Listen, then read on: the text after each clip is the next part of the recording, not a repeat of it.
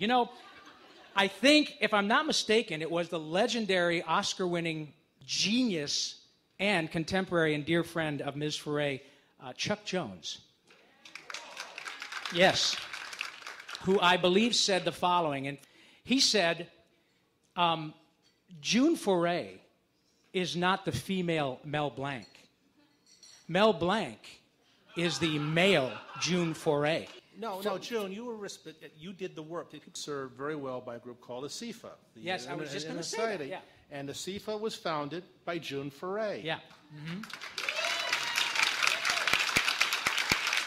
Here, here.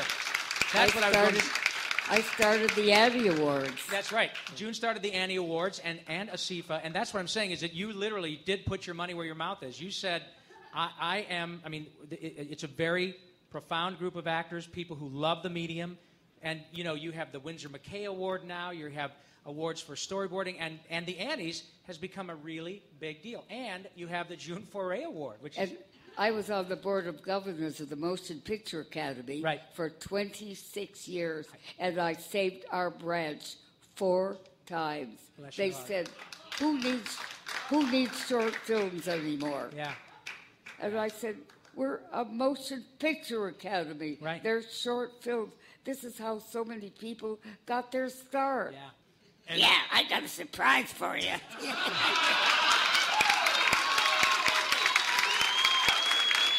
And we love you, June. And the fact that you would take your time to come and do this and see all of us and spend your Friday evening with us is so wonderful. It was And- thoughtful of you to invite me. Oh, honey, don't even, please. It's, it is such. No, seriously, you were on a the top of the list.